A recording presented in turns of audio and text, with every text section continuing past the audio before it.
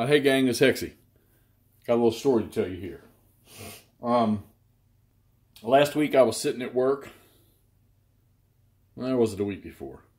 Had, anyhow, it was a few days back. And I get this message on Facebook Messenger, and it wasn't one of my normal contacts, but it was from Patrick Gebhardt from over in Germany with VUCA Simulations, asking me if I would like to review one or more of their games. And I immediately fired back at him saying, I would be happy to review whatever you want to send me. And they sure got a box out, I think the next day in the mail, and they sent me some games. Now, I'm not going to unbox all of these.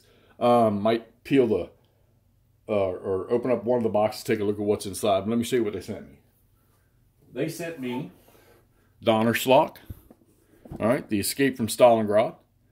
Uh, you, you got to love the boxes that they put these games in. Um, not shrink wrapped. I don't know if they if they are ever shrink wrapped or not, but I like the texture feel on that box. And I've seen other people with the games, and the quality of the counters and the maps just seems to me like they're awesome. So Donnerschlag, The Escape from Stalingrad. They sent me Aachen, 40, 1944, Crossing the Line. Okay. Now this is, uh, I believe this this is from the system that Kev and Mo were playing online. All right, so, and I'm going to assume that this is probably, what's this, a Hurtgens Forest that has Aachen in it? One of those GOSS games that has Aachen in it, I think. All right, so we got that one, Crossing the Line. And they sent me the game I believe Mo and them are playing right now, or we're playing, or not Mo, but uh, uh, Rough Swordsman and Blue Tweezers. They sent me Operation Theseus, Gazala 1942. All right, and along with that, they sent me the updated player aids, which are on like a hard cardboard. That's really nice. So, all right, so the quality is phenomenal. That's that's already a given. So let's peel the cardboard off one of these things and see what, what we got. We want to do that one here. Now let's do the Stalingrad one. I'm interested to, I'm interested to see that. So let's do Stalingrad. Let's peel off Donnerschlag here, right? That out of the way. All right, so looks like we got a rule book here right on top. All right. Donnerschlag, Escape from Stalingrad, Patrick Gebhardt, and Pepito Spazzagutti. Or Bazzagutti. Yeah, I don't know how to say that one, all right? That's an, definitely an Italian name, all right? Not, these rule books are not huge and an index in the back, and we always like the indexes. And this has cards in it, so I guess that means it's a card-driven game. There we go, three stacks of them. So we got three stacks of cards in here. Don't know how this is going to play out. I've never played one of their games yet, so I'm going to. All right, a couple of big old dice. All right, I like those little, the, the little tiny things that MM or uh, SPI used to make. All right, a fold-out map. I'm not going to fold that all the way out, but that it's a heavy card back. It's got a slightly textured, matted finish, and it looks really nice too. I can't wait to get that set up. Pre-rounded counters for all of you that don't like to do that. Nice, big, clean, easy to read counters, right? Uh, I'm sure Axis and Soviet. And sure some of the sub-Axis nations are on here too. A few information. Not a ton. That's good. It means a lot less to have to worry about on the board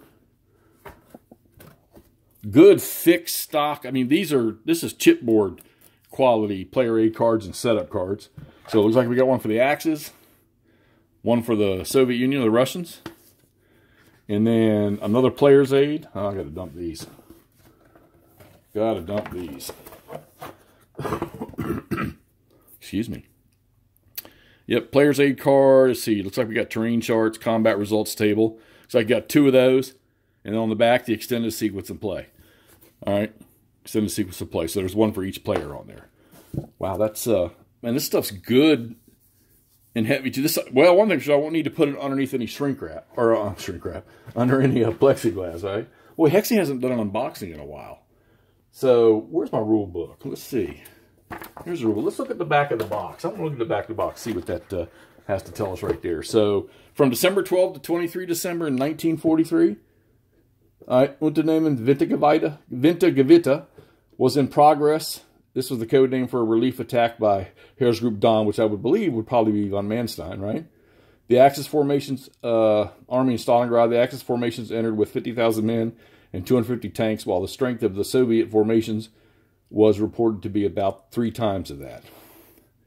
All right, so I'm seeing Kalach right there. And we know that Kalach was the point where when the Russians decided to counterattack, that they performed their own little pincer around Stalingrad and then they linked up at Kalach, thus cutting off Paulus and the Sixth Army, okay? So let's see, complexity of this game. Let's see, game meter's got a three complexity. It's got a five for solitaire suitability. And of course, you know, Hexy's playing. I'm going to figure out a way to make that a nine, one way or another.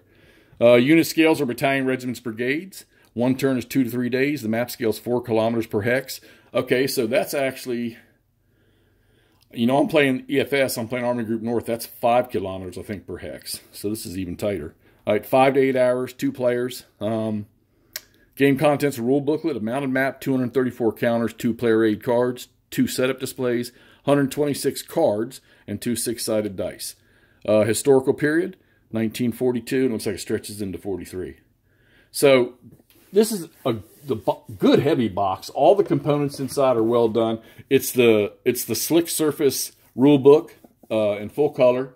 Counters are the counters are are pre-rounded and looks like you're just going to push them out and play, which is very awesome. Whether or not I'll I'll probably bag the bat put these in baggies because the the game boards are it's one big mounted game board here.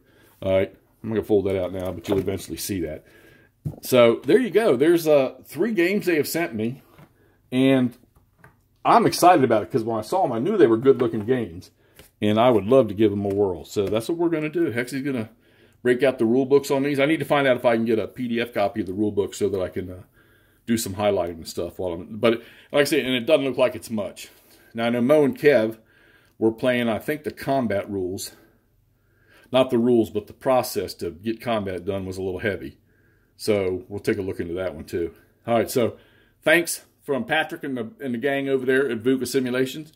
You'll see reviews on these. It'll take me a little time. I'll probably put them up out here on this table and play them here. Uh, I can't take down my big campaign of Army Group North. But we're going to get to looking at these and get after playing these things. Well, learning them and getting them played. So that is Donnerschlag Escape from Stalingrad. Like I say, Aachen, Crossing the Line, 1944, and the Operation Theseus game about Gazala. All right, guys, let me get this up here so you can see what VUCA sent me to review. Talk to you soon.